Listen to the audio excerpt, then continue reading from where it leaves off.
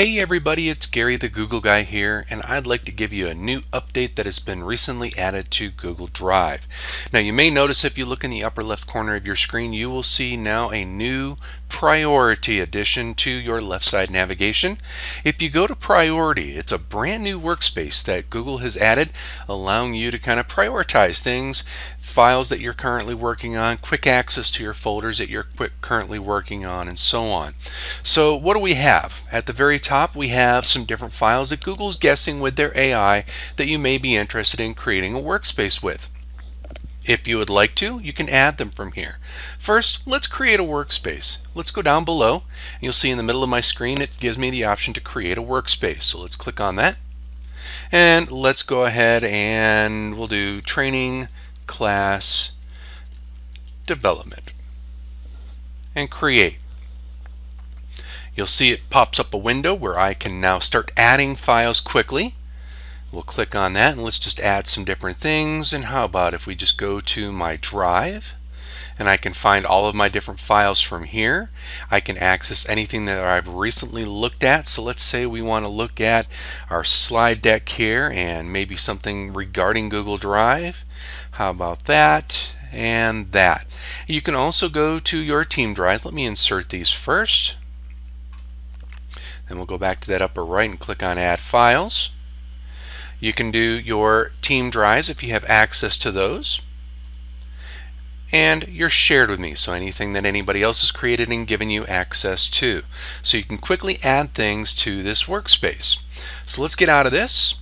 You'll now see that we have our workspace and a few files added. Click on Done.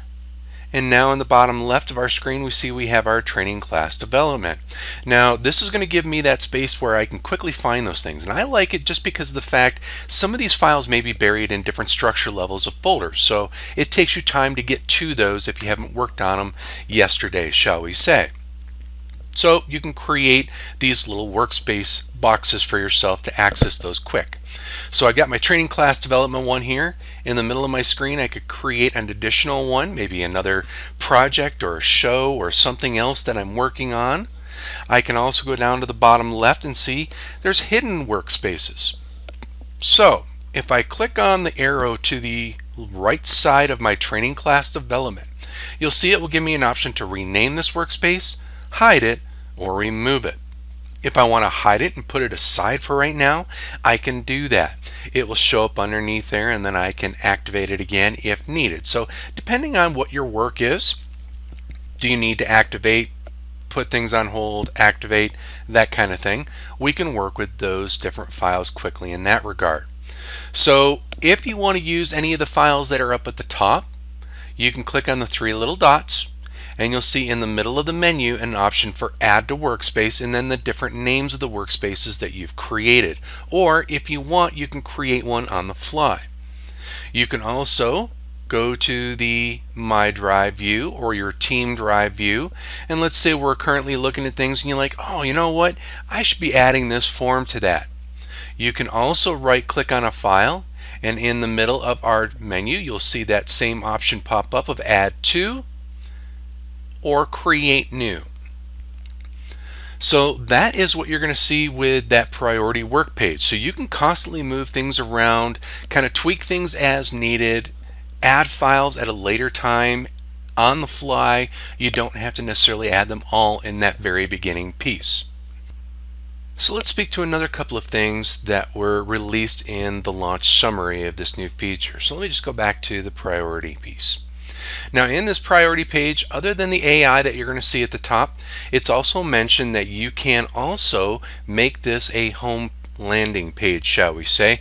Now I don't see it yet in my screen but if you go to the upper right and in your gear icon supposedly that will be there along this way with this release as well. So you should see a button or a box to select if you would like to make that priority page your default home landing page Another couple of things that are mentioned in that summary of this release of this new feature is going to be the addition of being able to respond to comments and edits and suggested edits in files without actually going into the file itself. And I don't have that functionality yet but that is supposedly coming with this along the way as well.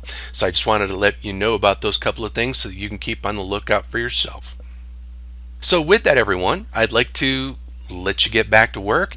Try using this priority work page. It's actually pretty cool to be able to set up the different working spaces and I've already got several set up for mine with the different things that I'm doing in terms of training class development, a couple of different clients that I'm working on with those different files kind of sorted that way. So I'm giving it a shot. So far so good. I'm really pleased with this option. So until we meet again, another day, another time, another update, which is coming soon. I've got a couple of more that Google has just released this week, and I will be in touch with you on those.